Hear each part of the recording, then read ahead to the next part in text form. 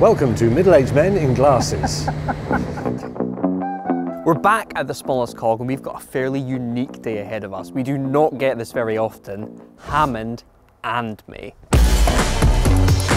We filmed this video in January, hence why we all look a bit cold. And this was James's first ever visit to the smallest cog. So Richard treated him to a tour of the workshop. Hammond has given James the full tour of the workshop now, but we're finding out the real reason James is here, sorting out a bike frame.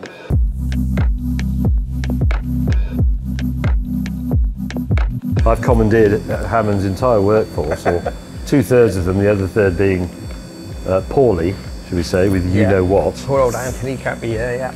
So, um, very skillfully removed the lugs that I don't need by debrazing and desoldering. Very risky because you can end up with a hole in the frame, in which case it's nixed. Now we're just going to grind off the excess and then finish it off with some hand files, Yeah. probably in a bit of wire wool. Yeah, a bit of wire wool, bit of, bit of, yeah, a bit of sandpaper just to get, it depends how smooth we get. This should be quite smooth and we'll probably run a DA over it when we do the paint. Take Yeah. these screws out and carry on. But if you want to, you can have a go with that one. No, you do. I want, I'll have a go first and then you I can want have it a go all done by a professional. Oh, you, could, you could have got the blame man if it went wrong, but it don't No, no, I, I've always had a theory that most people with classic cars, classic bikes, always wanted to have a go in a workshop and paint their own car. yes. And I think that's right, but I suppose the health and safety side of it would be against it. But Yeah, but it's I- also a mistake. Hmm. Because people think, oh, spraying paint on is easy, but it really isn't. no, no, is no, no, Yeah. no. You could- You could make a world of pain, I've, I've tried it and I'm not doing it again.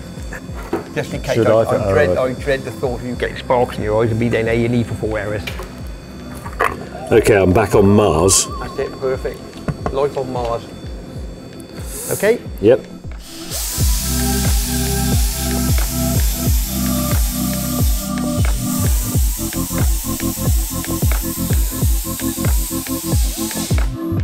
Have a look, if you're, if you're happy with how. It's not far, it's a little bit square there, we do it have a file then, but he's, Yeah, that's a file job. yeah.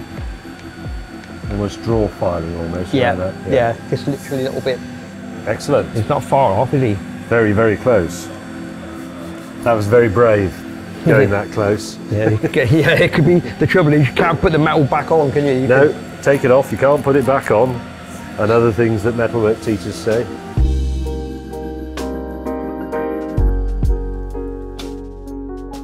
Richard, you've known James for nigh on 30 years now. Were Yes. you a bit nervous about him coming today? Now, uh, I'm an idiot because um, I've known, yeah, nearly 30 years, and he won't mind me saying he is a man known for his astonishing attention to detail. Yeah.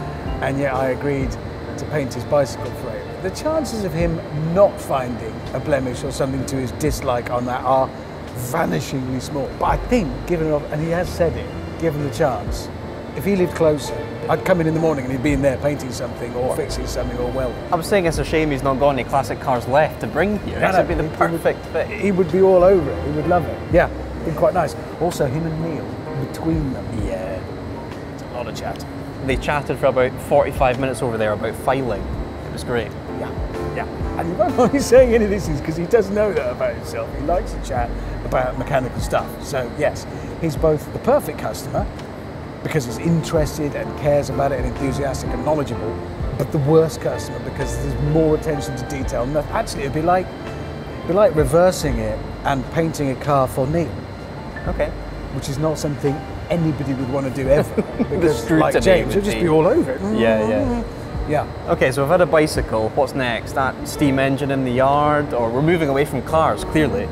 Not, not that far away from cars. It was a brief hop away from cars. The lads have loved it because they've loved having him over and meeting him. And uh, they enjoyed doing a bicycle because it was something different. But it's taken most of the day. Yeah. Financially, it won't quite stand up.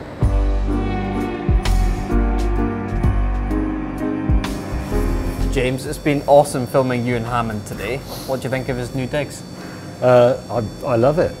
I think it's a, a truly fantastic workshop and I'm quite envious, if I'm honest. Well, it's a shame that you've kind of got rid of all the cars that would fit in here, your Ferrari, etc. You've Yeah. not really got a classic anymore. No, the only thing I've got is a beach buggy, which is already in perfect nick. So I don't really need his services apart from to occasionally paint a bicycle frame. Well, that is looking very good so far. What are you expecting from that? Pristine. Yes, frankly. I'm expecting it to look Pebble Beach bicycle frame. Okay, no pressure. No less. And what do you think of the guys? I think Hammond's found some pretty. Oh yeah, they're tremendous. Yeah, yeah, they're very entertaining apart from anything else, and they obviously know their stuff. So he's, all the ingredients are absolutely perfect. You just need some jobs. Would you actually like to use the place? Come in, maybe work on your own bikes over the weekend, do your own little knickknacks. It's a bit far away, but potentially in the summer, yeah. It- It's chuffing freezing in here, and I don't. I'm not sure Hammond has quite grasped the impact of temperature on morale. Absolutely. History has demonstrated this many, many times. Well, they've got that jet engine there, which is pretty toasty, but they're Yeah, only but they allowed to won't fire turn it up yeah, once a they, they won't turn it on. a fire that you don't turn on is the most useless thing in the world. It's just taking up space and money. Okay, well, looking forward to seeing how your bike comes out. Yeah, so am I. It should be out. So um, I reckon by 5:30, which is in an hour and a half's time, it will probably be pretty much there. And then that's your project for this coming year. Will that be a full bike fairly soon? Oh, that'll be a full bike within a couple of weeks. Oh, cool. Yeah. Could we film you riding it? Yeah, as soon as the bits arrive, I'll sling it together and then I'll bring it over here and you can have a picture of it parked in the empty space in the workshop where there's no other work. You can just have a nice portrait of my bike. You're already thinking about thumbnails. Yeah, There you go. Coming soon to Drive Tribe. thumbnails. Technical term. Nothing to do with thumbs or nails. No, actually. why has it got that name?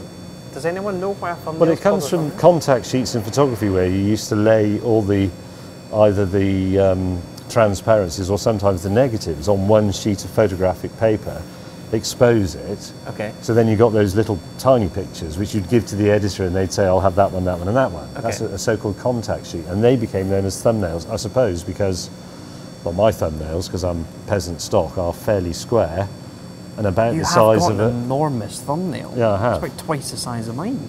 See, if they'd hung around with people like you, they wouldn't be known as thumbnails because your thumbnails aren't the right shape, but mine are. It's like a little picture.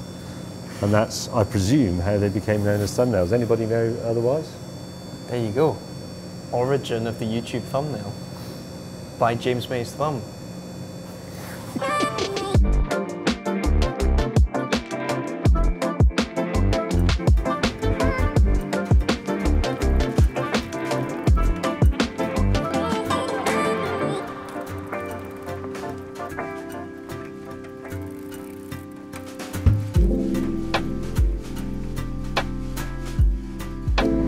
Welcome to Middle Aged Men in Glasses.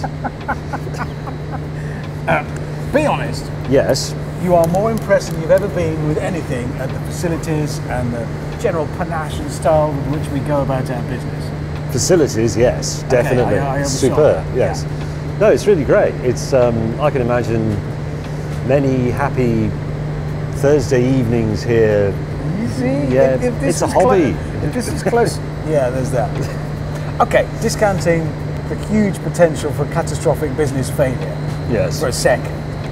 If you had your way, you'd just be here all the time working. If I lived near it, yeah, you wouldn't get rid of me. No, you'd be here all the time. Definitely.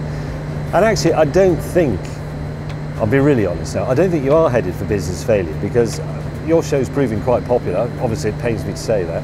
Of all the people watching your show, most of whom will be old car enthusiasts, you only need a tiny number of them to think, I'm going to have my, my work done by the workshop whose name we're not strictly supposed to mention, but it's the smallest cog, Yeah. that you're done. Yeah, we don't need a lot of work, but we do need But you do need some. Yes, and the problem is the long jobs just on and on and on and on. What we need is those quick turnaround. Bicycle in- frames, for example. That's a bit too quick, and, and maybe It's cars. taken all day. Maybe that's because you were talking to Neil. I Yeah, it was. Yeah, okay. Yeah, yeah. He's a very interesting man. Well, he was telling me about his Raleigh Chopper. No, well, there you go. That's the one frustration for me is I set this up thinking, brilliant, of an evening, Yeah. I'm there, learning alongside the masters. But you're going to have to do management. Neil and Andrew can teach me how to fix cars and paint cars properly and do They'd probably rather you buggered off and stayed in your office. Yeah, they would. It's a bit like my pub. I go down there and I make suggestions and they go, yeah, that's a great idea, going and now? then they completely ignore it. Yeah. All of it. Yeah. Yeah, I think this is going to turn out to be a bit like that, but it is early days here. Yeah. No, I, I mean, it's, I'm glad you've got it. It means I don't have to go through all this trouble because you've It already is done actually, it. I can see how it could be a very useful facility for you to, well, Yes. Exhibit A. I could, for example, bring a bicycle frame that needed painting. Yeah. painting. You have used my number one operative all day. Yeah, I'll pay. I can't okay. charge you what it would cost. I just would feel awful. 50 quid. Yeah, okay. It's gonna be it's gonna be a drink. Okay. It is.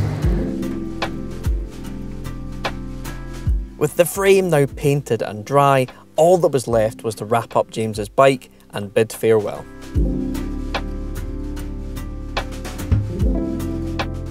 What's been really nice about filming with both of them today is that you can tell that they're having so much fun, that they are genuine friends, and I just think that's so cool to see. It's very rare that we get both of them on the channel, but we will do our utmost to get them in as many videos as possible. I've been Mike, and don't forget to subscribe to Drive Tribe.